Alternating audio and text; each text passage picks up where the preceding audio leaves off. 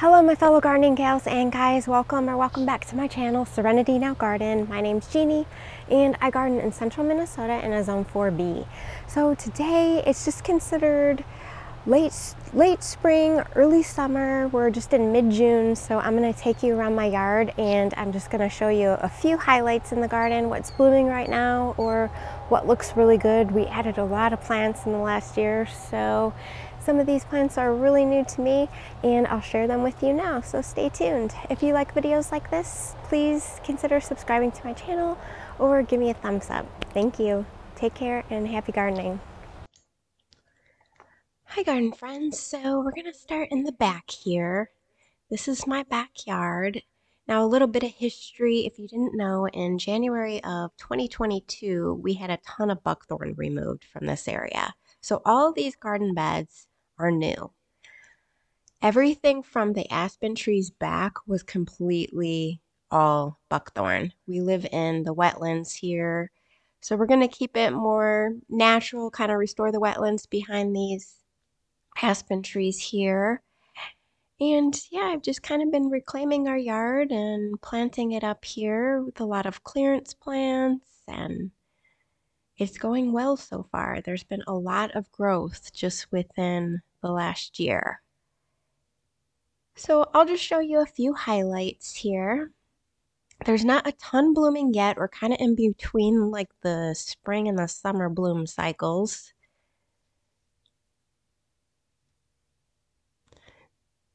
I do have a cut flower and veggie garden back there as well, which I'll show later. But this bed here is my, what I call my purple and gold garden bed. So I love gold foliage. We have a lot of gold foliage plants and a lot of purple flowers. So the ajuga is just on its way out, but we have some things here that are starting. Look at this hosta. It's one of my only full sun hostas, but it does pretty well. It gets maybe a little crisp in August. This is a fragrant bouquet. And I just don't have the heart to move it. It's just gorgeous right there. And right next to these Royal Candle Veronicas. So these are just about to bloom and they'll be a brilliant purple. Looks great next to that hosta. I have some gold lamium. That's the first year for that. I'm trying that as a ground cover here. And this bed has three Sutherland gold elderberries. Now, I love elderberries, and elderberries seem to really like this area. These can get 8 to 10 feet tall and wide. I'll probably prune them more in like a tree form, but these are only, you know, two years old, so they have a ways to go. This is a Siberian kaboom iris. It just looks great next to that gold foliage as well. I do have to spray these for deer, though. So this is the Sutherland Gold. I mean, as you can see, the foliage is just so gorgeous. It almost looks like a Japanese maple from afar. I call it the poor man's Japanese maple. Japanese maples don't do well in zone four in our zone, so there's some ajuga that's on its way out. That's the burgundy glow, but man, this put on a real show just a couple weeks ago. And this kind of marries the two, gold and purple. This is Sweet Kate Tradescantia or spiderwort. This can spread a bit, but this is new, first year, so you can see the gorgeous purple blooms and that gold foliage. I just love it.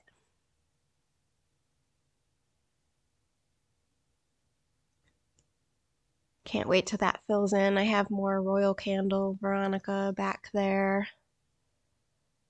We also have some hosta that I might end up moving. They're kind of just holding a place right now, and some hibiscus and buttonbush in the back. This is a garden bath right here to my new cut flower and veggie garden. The cut flower and veggie garden just has dead leaves in it as a weed barrier and I lined it with zinnias and gomphrena that will grow in. So I'll show that in a subsequent video.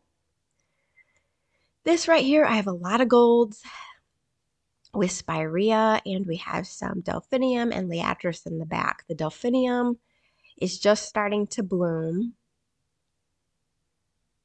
This is a Rose Marvel Salvia. I just love this salvia. It stays compact, but it looks really cool with like the two-toned color. Now, as soon as this is done, I'll shear it back and hopefully get a rebloom out of it. This is a candy corn spirea. It's a um, Proven Winners Double Play spirea. I just love it. Every few weeks, it looks different. This emerged from the ground in the spring, bright red. And now look at it. It's like chartreuse. Now it's got, you know, some flowers or just starting. This is my earliest blooming delphinium. It also stays the shortest. Um, the delphiniums I just love. You have to stake them up or else, you know, the wind and the rain can actually make them fall. But, oh, they're just gorgeous. There's a liatris there.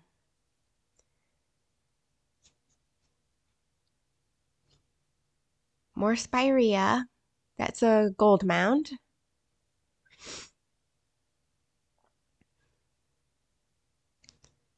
This whole area is just growing in so well. I just didn't think it was going to grow this well. I don't know why. I, I'm just surprised, but I'm very happy. This is a mellow yellow spirea. The leaf structure is a lot different than normal spireas, but really glows. And this spirea is called a little spark. It really stands out in the spring and now it's getting these blooms on it that are gorgeous. So it's really put on a lot of growth. Right next to that, we have, I believe it's called Dark Towers penstemon. These grow really tall. They're just starting to bloom here. In fact, I might end up having to move them more to the back of the bed as we make this bed go further back. But very easy plant. We have a lot of gold nine barks back here. This is one is one of my favorites. It's just done blooming, but just a couple weeks ago, this was covered in these white blooms. This one is called Festivus Gold Nine Bark. It gets about four by four. We have various things back here in the new bed, which I just did a video on. I'll link it above if you want to check that out. What we have blooming right here, um, there's some scabiosa back there. I planted some dogwoods. This is a daisy May that's just starting to bloom. Now this will be covered in blooms, and I heard that it could bloom all season, so we'll see if you shear it back. We have ajuga that's on its way out in front, mostly burgundy glow and chocolate chip. This is a path I put in that's lined by hostas that goes to the back part of the property that we're going to keep more natural back there. My kaboom irises over here are just starting to bud. They'll be bloomed probably, they'll probably open in the next week. But isn't this gorgeous, this combination here? We have a Sun King Aralia on the right that just pops from a mile away, and we have a blue Halcyon Hosta right next to it. I just, I love the blues next to the golds. It's just so eye-catching. Uh, those Sun King Aralias Nothing bothers them. They like shade. Here's some Frances Williams hosta in the back. And then we have a false leaf lemon thread cypress or false cypress that'll grow four, four by four. It'll fill in that area. Some pens, more penstemon. More hosta. Sun Kings in the far back. And this right here is Ivory Halo Dogwood. This is a plant I got on clearance. I would have never put it in otherwise, but I absolutely love it. It'll get four by four. The variegation on the leaves are gorgeous, and it has red twigs that look amazing in the fall. We have a lot of astilbe in this bed. They haven't bloomed yet. They will, so that'll be kind of the show in the next few weeks here, usually beginning of July. We have a lot of Veronica over here that hasn't bloomed yet. We have some gold hosta. This is orange marmalade. This is second year. This was my last hosta to emerge. I almost thought it was dead. And we have a lot of mosquitoes back here. this is gold Aztec creeping Veronica. I just put this in. I always look for gold uh, ground covers, so we'll see how that does. I'll report back on it in a few weeks. But as you can see, I have a lot of like taller variety of Astilbes and they love my yard because it stays kind of wet in few, a few areas. Astilbes love water. Some of these will get as tall as me. You can see the Sun Kings in the back really popping. Here's a Nepeta that I put in last year. Little leggy, but I'll probably shear it back just to kind of, when it's done blooming just to kind of make it a little more bushy. More Astilbe. I think this is a Chinese type of Astilbe. Um, I also have Mighty Pip back here that gets really tall. If you're looking for a large Astilbe, try Mighty Pip. Very pretty. Pink flowers.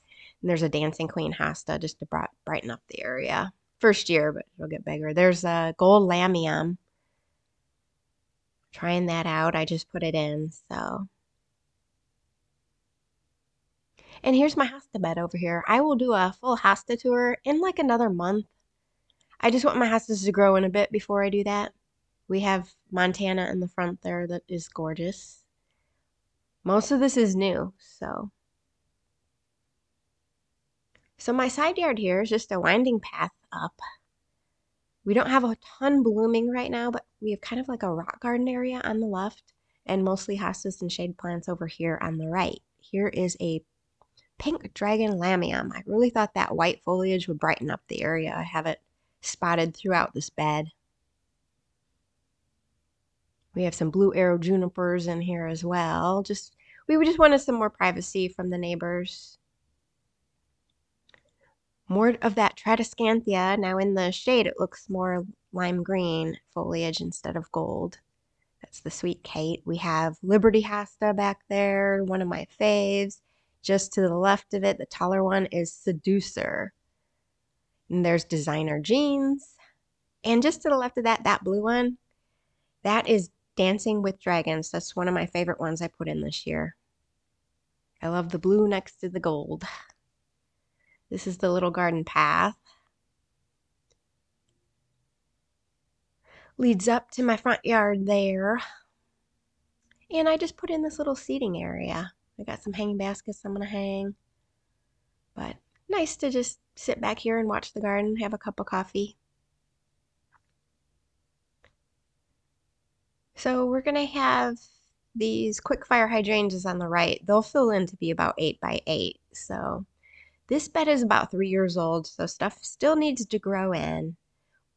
We're in between bloom cycles. The lupin's just on its way out, and the yarrow's just about to start. Here's the yarrow here. It spreads, it's easy, but I do have to keep it sprayed from rabbits. And we have some Max Frey geranium that's just about to bloom. We have some more gold lamium in between the quick fire hydrangeas and the last bloom on the lupin this year. The rock garden to the left is just small. We have a lot of succulents and sedums, and the yellow you're seeing is scotch moss, which is actually a perennial, not a moss. More blue arrow juniper on the right. This is a saline. It's a good alpine rock garden type plant that could take poor soil, and this starts blooming now in mid June, and it will seriously bloom all the way until frost. It's just starting to open, but very pretty white blooms on that, and it's really pretty next to that red sempervivum in the back. This side, we have a jade butterfly dwarf ginkgo. I got this for my birthday about two years ago. I love it. Gorgeous. It'll stay short. And we have some Pallida irises or zebra irises. smell like grape soda. and I paired that with some Atlantis sedum. I thought the foliages just go well together. Very easy plant there too. I might even put in more. I don't know. I might put some scabiosa over here as well. And we'll just go to my front here, this is my retaining wall. I just want to show you a couple things that are just starting to bloom. You cannot beat dianthus this time of year. End of spring, early summer, and right before you start have start having to deadhead it, This is Fire Witch Dianthus. This is my absolute favorite. It's a couple years old here. It gets these, you know, pink magenta type blooms, and the foliage is ice blue. I have three of these in this retaining wall. We have some purple Palace heuchera, and this is Biokovo geranium. Very easy plant as well, can take some shade, nothing bothers it. It won't bloom like this all year, but it'll bloom for a good couple weeks, and those little pink or little white blooms are so pretty. This is a hang basket I got for shade. It's fuchsia. They are heavy feeders, so they like fertilizer. Look at these blooms. They're just purple and that magenta color. It's just gorgeous. I got this for like $7 because it was half dead and I just brought it back to life. It really brightens up that area. So I'm trying to create a hedge over here with these Diablo 9 barks just to kind of hide my neighbor's house. And it's blooming now. Isn't this gorgeous? Now these Diablo 9 barks can get huge. They can get like 8 8 to 10 feet tall and wide. And we have my arbor here to the side yard with clematis growing up. It's just starting to bloom. I have two different ones. This is the first one here. So pretty. There's Jackmanii on this as well. Here's my my front porch this year. Now I just planted these pots so they're not filled in yet, but I'll show you. I have delphiniums. I think I counted like 18 spikes on these delphiniums this year, and there's only like fourth year. Look at that. I mean, just in another few weeks, it's really going to pop. We have a clematis growing up the post that I planted last year. Just oh, just first bloom opening there. That's a Viticella type of clematis. We have some Celosia and some Persian shield here. I always use Creeping Jenny as a spiller in my shade pots. The hanging basket up top is Dichondra Silver Falls and Dracula Calibrachoa. And then, yeah, this pot here, we have some tall papyrus King Tut that will get six feet tall in the back there. And it mostly has just like coleus. We have some caladium in there. And check out here, we have this angel wings senecio. It's actually in the Artemisia family. It's in a pot. This is an annual in our area, but doesn't that stand out? Just the white just really pops. And here's my full sun container so far. I'll give you an update. Now I got a little crisp on these sweet potato vines, but we had some really, really hot weather for a bit. There's some euphorbia and this is a banana plant here that will get eight feet tall. I cannot wait. It is doing great. It's loving it here. It's not crisp at all. We have some lantana that's supposed to fill in there. I kind of had to shear it back, so we'll get it reblown.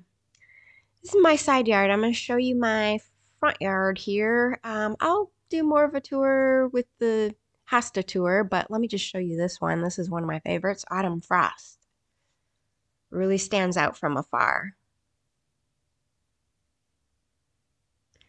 We have ferns, we have Sun King Aralia, we have a Astilbe, we have Creeping Jenny, we have geraniums, Jacob's Ladder, we got a lot back here. The Creeping Jenny is the ground cover, just in front of, we have a couple foxgloves back here. I love foxgloves. Now the creeping Jenny can get out of hand, so you gotta only plant it where it could be contained.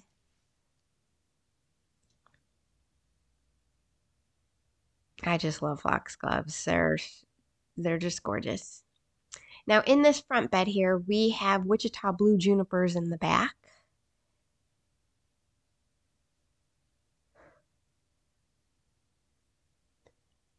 we have a variegated Jacob's ladder here that's just starting to bloom. Isn't that a cool leaf color? Like, I just love it. It's doing pretty good in the shade, too. Just starting to bloom. We have some more Biokovo geranium here.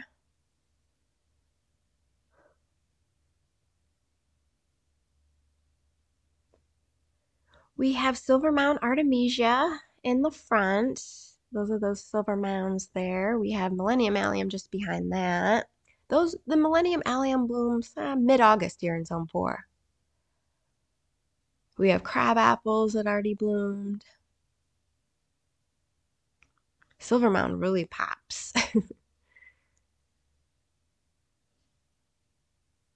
this is a very dry garden bed. I have a lot of allium bulbs here that are just starting to fizzle out, but they really did put on a show. And it was just so hot this year. They fizzled out really quick.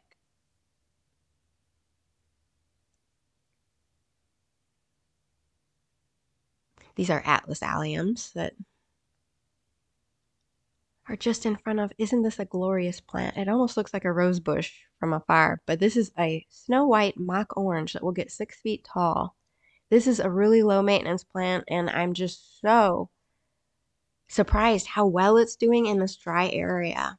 I don't water a ton up here, I try, but isn't this glorious? Like, it's just covered in blooms. It's like third year up here. No, second year. And it smells amazing. So I highly recommend mock oranges.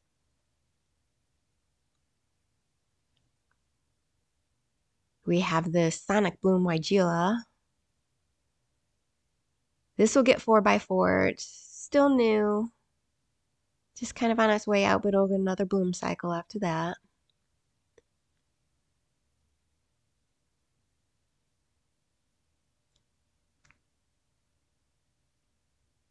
some some of those uh, shorter Ostara alliums in the front. They're done blooming, but they're still pretty. And we have a potentilla here that's just starting to bloom. Potentillas will bloom like all season once they start. So, and they could take some dry conditions.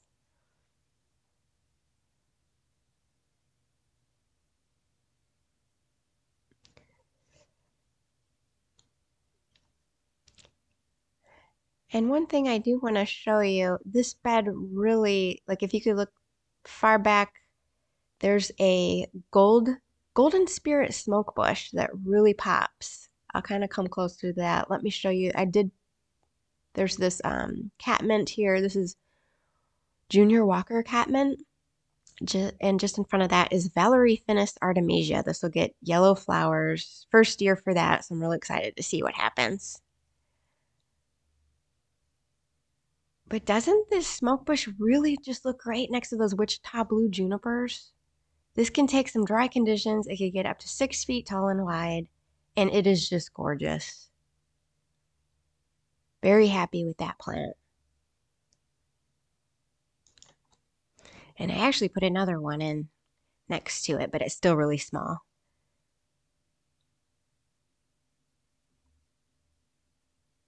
Another catmint here. They're good fillers. And let me show you this um, sedum just behind that. Some of it starting to bloom. This was a sedum mix that I got from like Home Depot. And I just kind of put it in front of this tree because it got really hot afternoon sun, sandy soil. Look at the different types are blooming. This has done amazing in front of this tree. It's a great weed barrier. Like it's, I've been so happy with it. You don't have to do anything with it. It'll spread and not aggressively. All right, and last but not least, there's one container I forgot to show you earlier. This is one of my shade containers, and I love it. So we have bloodleaf iresine. That is the pink plant in there with the hot pink stems. So cool. We have Creeping Jenny as a trailer, and we have um, some coleus and some sun patiens in there, some tropical compact sun patiens. So the coleus will grow in there. But it is just gorgeous. And it has grown a lot. I can't wait to see this pot fill in. But thank you guys so much for watching. I hope you like that and happy gardening, everyone. Take care.